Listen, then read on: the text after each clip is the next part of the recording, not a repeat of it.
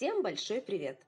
Друзья, в этом видео хочу поделиться с вами рецептом закуски, которая подойдет и к праздничному столу, и на каждый день. Будем готовить фаршированные шампиньоны. Это блюдо готовится очень быстро, а результат просто отличный. Грибочки получаются очень вкусные, сочные, ароматные и по виду презентабельные. А в качестве начинки можно использовать абсолютно все, что вы любите. Сыр, овощи, мясо в любом случае будет вкусно. Кто еще не подписался на мой канал, присоединяйтесь, жмите на колокольчик, чтобы не пропустить новые видео и начинаем готовить.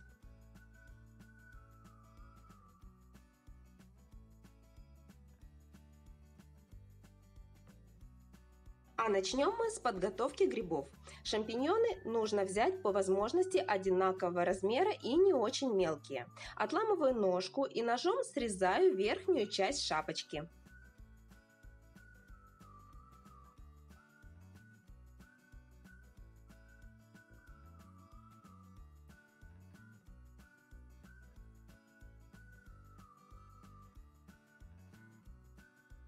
Лук нарезаю мелким кубиком и кладу его в сковороду с растительным маслом. Обжариваю на медленном огне.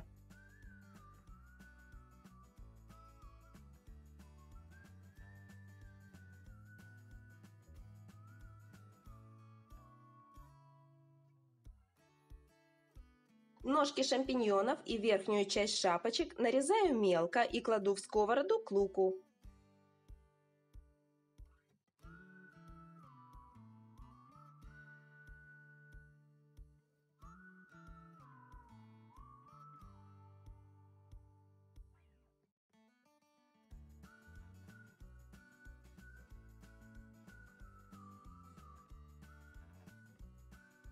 Перемешиваю, добавляю молотый перец, соль, еще раз перемешиваю и оставляю обжариваться до золотистого цвета, периодически не забывая помешивать.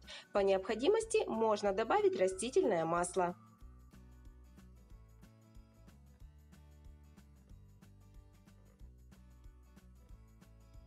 Отваренное куриное филе нарезаю на небольшие кусочки.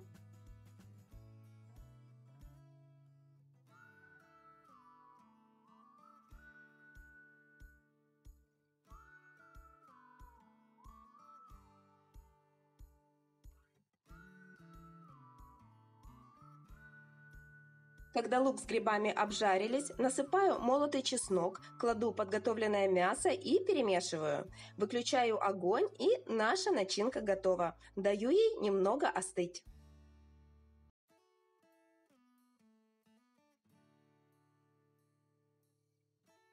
Сыр натираю на крупной терке. Перекладываю начинку в мисочку, добавляю треть от всего натертого сыра и перемешиваю.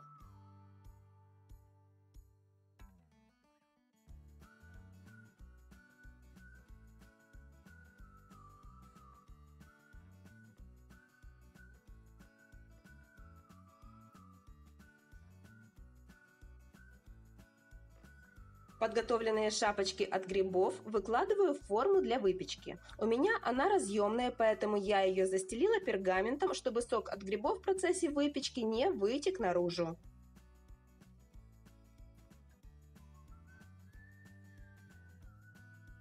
Немного солю и наполняю шапочки начинкой. Не жалейте, накладывайте с горкой.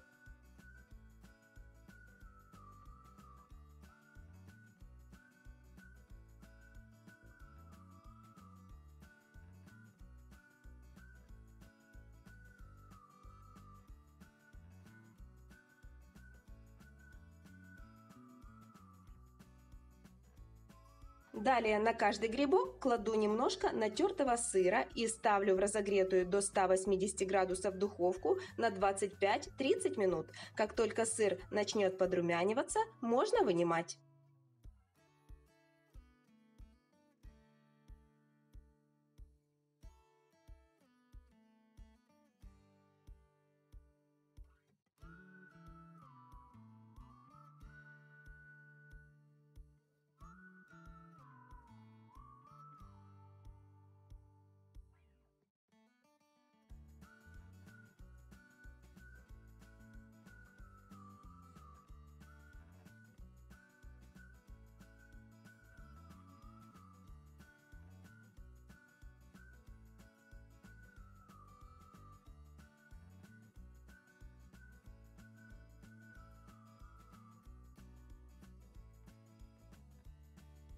Такие грибочки вкусно кушать и теплыми, и холодными, так что можно готовить сразу побольше.